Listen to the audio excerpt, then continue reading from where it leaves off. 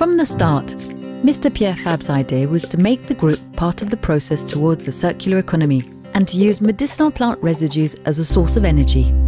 By using these waste products, this group from the Tarn has become the European pioneer for using these types of plants as renewable energy sources.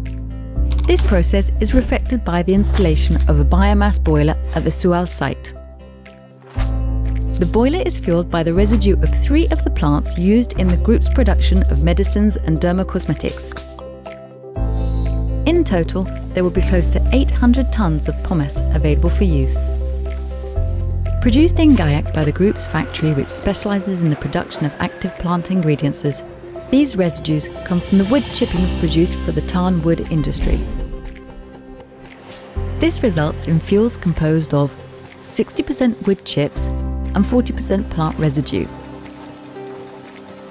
The boiler allows for the production of hot, clean water for the whole site, and nothing is lost. The ash gathered from the burning process will serve as fertiliser on the group's agricultural holdings. Currently implemented, this idea has already yielded results. Substituting 60% of gas consumption at the Soual factory with renewable energies, reducing the site's carbon footprint by 1,600 tonnes of CO2 per year. Finally, the brightest ideas always come with rewards. Ours has been awarded a trophy by the French Pharmaceutical Companies Association, LEEM, the Societal and Environmental Responsibility Trophy. Pierre Fabre, a group at the centre of a circular economy